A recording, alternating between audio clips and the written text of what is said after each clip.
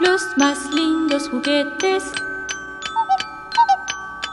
son de Julio Cepeda. Para muñecas, bicicletas, renecitos y carritos.